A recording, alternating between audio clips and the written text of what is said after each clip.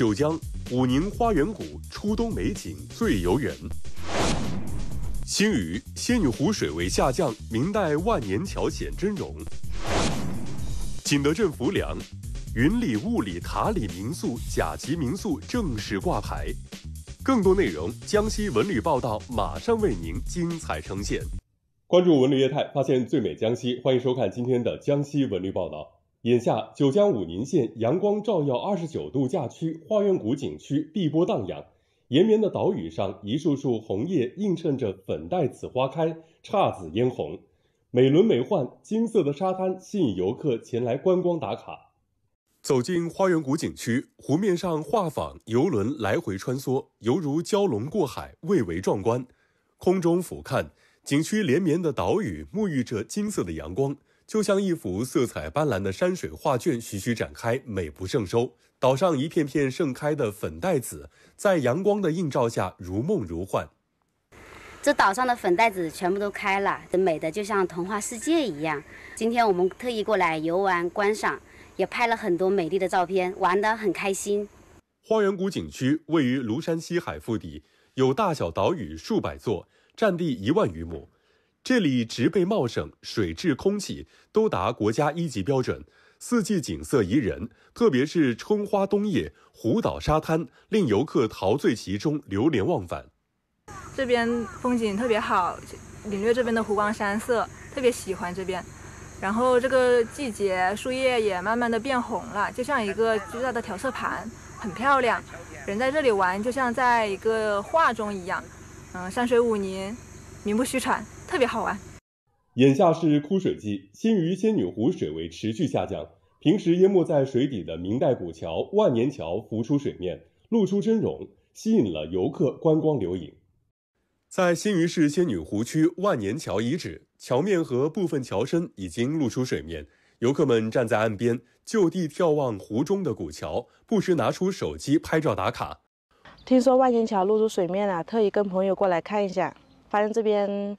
风景蛮好，拍了好多照片，然后发了朋友圈，感受了历史的厚重。今天这趟不不虚此行。万年桥过去是分宜古城通往南方的重要通道。上世纪五十年代修建江口水库时，万年桥与分宜古城一起沉入了湖底。每年的枯水季节，古桥才会露出真容。因其难得路面和独特的历史意义，每年的枯水季。不少摄影爱好者会专程前来拍摄影像作品。啊，这个万年桥嘛，因为历史很悠久，非常符合我们这边的古风古韵，也是非常非常适合拍照的。我回去之后，我也准备嗯把我们照片积极的分享到那个抖音啊、小红书啊，到一些嗯我的自己的账号上面，嗯，多帮万年桥宣传宣传。万年桥修建于明朝嘉靖年间，距今有四百六十多年的历史。全长三百八十四米，十一个孔洞，宽七点六八米，十座桥墩皆由上千枚岩石垒砌而成。桥身造有兽首浮雕，是我省现存最早的多孔石拱桥。为了保护好这一珍贵的历史文化景观，新余市仙女湖区在万年桥周边两百米水域设立了禁航区，有专人对古桥和水下古城进行巡查和记录。对桥面。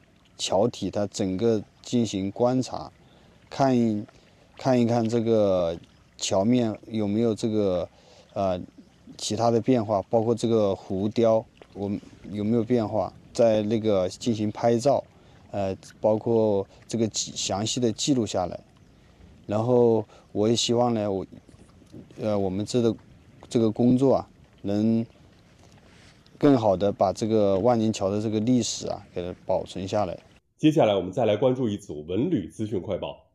十一月三十号，由江西省文化和旅游厅与江西省人民政府驻北京办事处共同主办的“二零二四如画江西，风景独好”江西文化和旅游全球发布会在北京凤凰中心举行。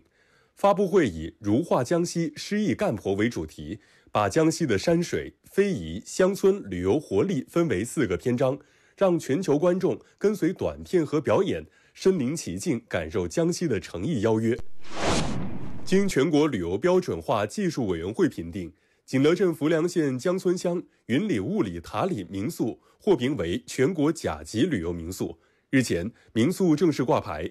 云里雾里塔里民宿是一个以茶为主题的茶民宿，客房采用落地窗设计，配套非遗体验馆、会议室、KTV、咖啡吧、茶室、阅读室及户外游泳池、烧烤区、天幕休闲区等设施，为游客提供集吃住养娱乐购为一体的乡村度假生活。这次获评甲级民宿啊，是对我们过去的一种认可，也是对未来一种激励。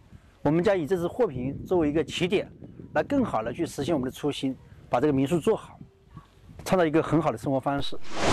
近日，景德镇浮梁县林业局工作人员在对红外监测设备进行数据采集时，发现红外相机拍摄到了一只成年黑熊，属国家二级保护动物。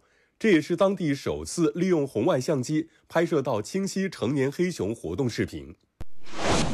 日前，于都县小溪乡高石村一棵树龄高达千年的银杏树迎来了最佳观赏期。据了解，这棵银杏树属于一级保护古树。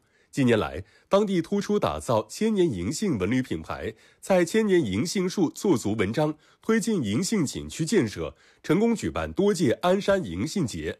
今年还打造了全市首个以银杏为主题的景区——银杏山区。年接待游客近十万人次，带动附近村民就业增收，助推文旅融合深度发展。以上就是今天节目的全部内容。收看本节目更多内容，您还可以下载金视频 APP。我们下期同一时间再会。